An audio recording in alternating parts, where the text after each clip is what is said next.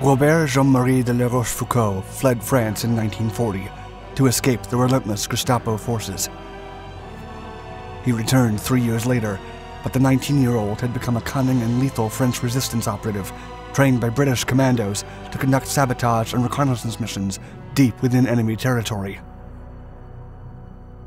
After dropping from a warplane in the wilderness near the town of Bordeaux and concealing his parachute, La Rochefoucauld immediately began to work.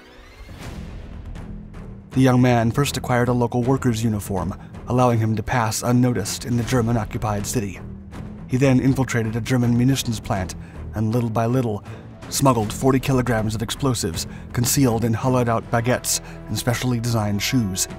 After four days, he set off the payload and rushed from the scene. This story, however, would be a mere afterthought compared to the daring adventures the man considered the greatest French saboteur was destined to lead.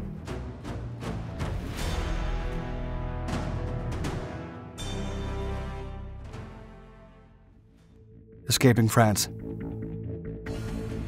La Rochefoucauld was an outrageously shrewd and ingenious boy. He was one of ten children of a rich and influential family which lived just a few yards from the Eiffel Tower in Paris. But his prosperous life was soon shattered by the rolling drums of war. After France fell in 1940, the Gestapo took his father due to his close ties with the anti Hitler Charles de Gaulle government. The family's status as French nobles did not spare them from the horrors of war.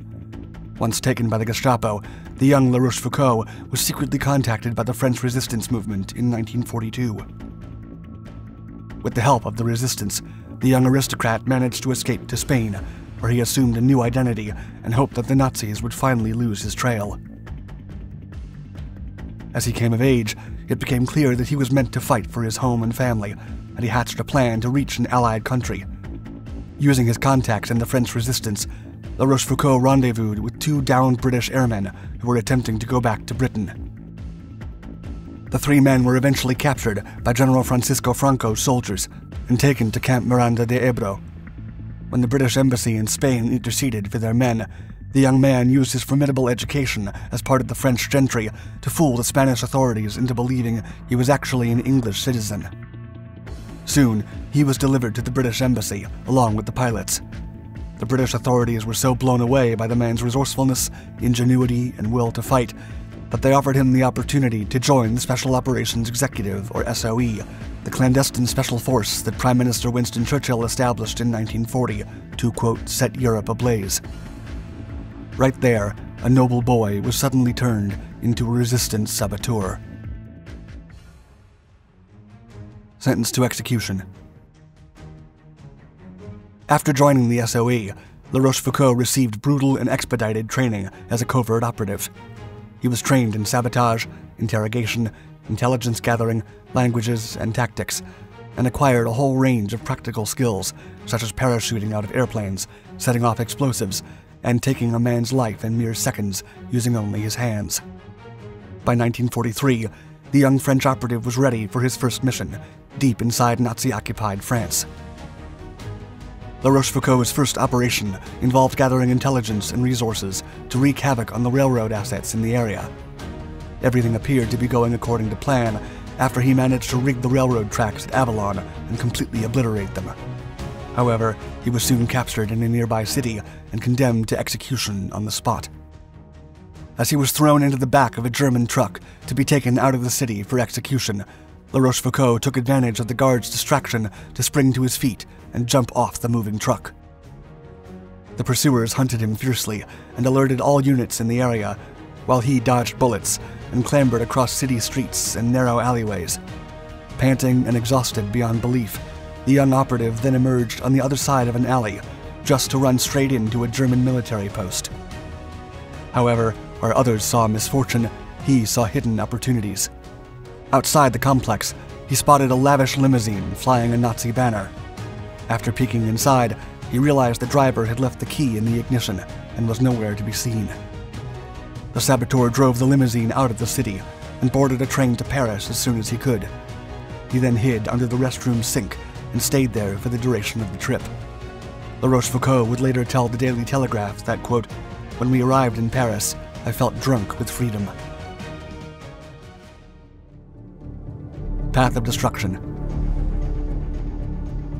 After making it to Paris, La Rochefoucauld was immediately extracted from France and taken back to Britain, as he was a high priority target. After the situation cooled down months later, he was dropped into the heart of Nazi occupied France again. This time, his objective was the destruction of the Saint Médard en Jalles munitions plant, which was being used by the Germans to supply their troops with ammunition. Using the ingenuity that had served him so well before, La Rochefoucauld decided to use a rather unorthodox approach to the sabotage operation. The young man infiltrated the local worker population and managed to get a uniform. He then hollowed out the sole of a pair of working boots and began smuggling explosives into the plant little by little.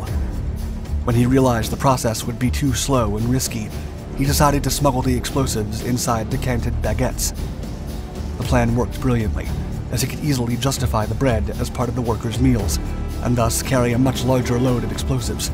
After four days, the 40 kilogram payload had been set, and all that was left was to trigger the explosion. As he finally set it off, the young operative barely escaped the conflagration, and the whole plant was engulfed in fire. He then climbed over a wall and fled on a bicycle. After informing Britain of his success, he received a single word in response, quote, Félicitations. Donning the habit. Despite his significant success, La Rochefoucauld was identified and captured a few days later. The young saboteur was taken to Fort du Hâ in Bordeaux to await execution, but he quickly feigned an epileptic seizure.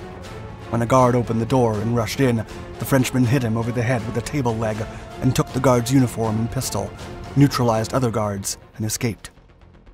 Once outside, La Rochefoucauld realized that every German soldier in the vicinity was hunting him down. He would definitely be shot on the spot if he was captured. The saboteur then approached the only man in the region that could help him, a French underground worker who was also a resistance fighter. Together, the two men schemed a ludicrous idea that was so crazy it just might work. The worker's sister was a nun at a local monastery and let La Rochefoucauld have her habit so he could sneak out of the contested area. The saboteur donned the habit and calmly walked out in the open, traveling for hours right in front of countless Nazi agents. After traveling for miles, La Rochefoucauld reached the home of a high ranking member of the French resistance who offered to hide him. By now, the Normandy landings were around the corner, and Britain decided to use him for the large scale operation. As the operation started, La Rochefoucauld conducted dozens of sabotage and espionage missions, helping the advance of the Allies from within enemy territory. Unfortunately, his luck ran out again, and he was captured by the SS while carrying out a mission. The Germans would not risk another prison escape, so they immediately dragged him to a field to be executed by a firing squad. As the German soldiers prepared to carry out the deed, a group of French partisans managed to seize a series of machine gun posts on the other side of the field. The sudden attack on the Germans gave a euphoric La Rochefoucauld just enough time to escape and cheat fate one more time. The Big Job. By 1945, France had already been liberated by the Allies, except for a handful of small but fierce pockets of German fighters that continued to hold control of specific regions in the country. In addition, a new Allied weapon capable of unleashing untold devastation had recently been introduced napalm. Several menacing, cement fortified anti aircraft artillery complexes, armed with 280mm guns, were everywhere along the beaches, and the die-hard Germans holding them had no intention of surrendering.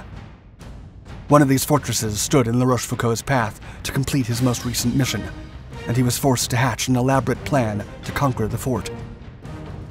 The casemate sat near the water's edge, and La Rochefoucauld suggested using an inflatable raft to slip a demolition team behind it under cover of night. The demolition team could then plant explosives on the fortification's outer wall, and La Rochefoucauld volunteered to lead the team personally.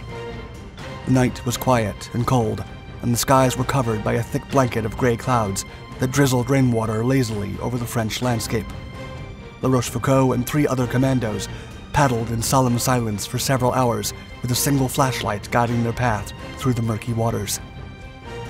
Once at the foot of the towering casemate, the men disembarked onto the narrow beach carrying rope, munitions, and enough explosives to awake the entire French countryside. They then approached the fortification in a single line, but when they finally made it to the outer perimeter of the complex, they were met with an unexpected surprise. Infiltration. The men quickly realized that an additional outer wall completely surrounded the casemate. As such, they would need to surpass the outer rampart and rig the explosives into the inner main wall. The wall was mostly covered by camouflage netting, making it hard to spot from a distance. Again, La Rochefoucauld's nature immediately kicked in. Someone had to climb over the wall and mesh, while the rest of the team guarded the position by the raft. The experienced saboteur spearheaded the risky operation, carefully climbing the slippery surfaces of the outer wall under the constant drizzling.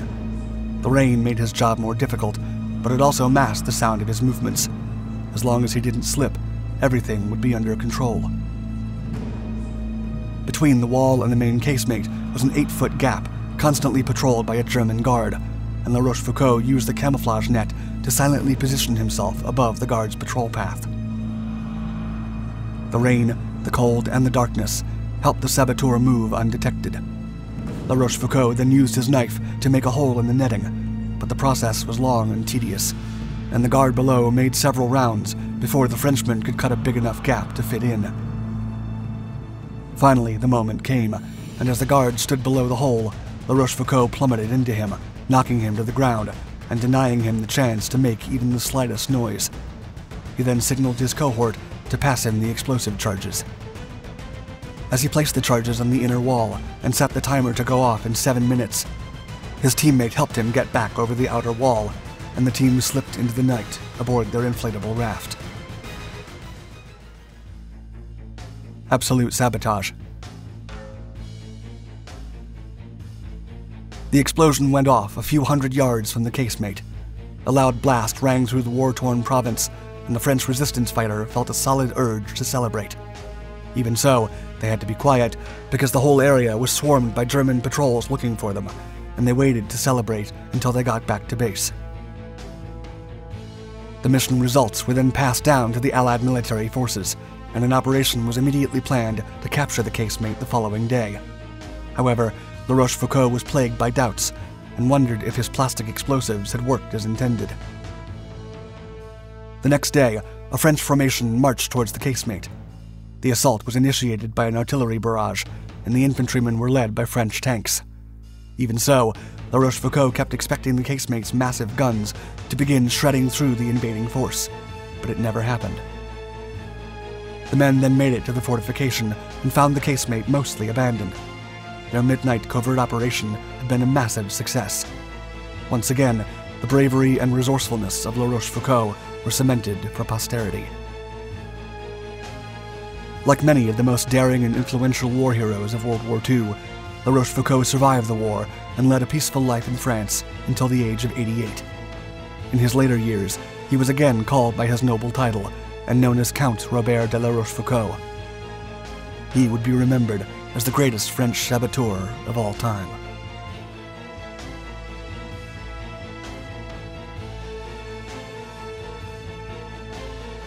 Thank you for watching Dark Docs. To discover the lives of more legendary war heroes forgotten by time, subscribe to our channel and check out the rest of our other Dark Documentaries channels where we publish regularly. Stay tuned.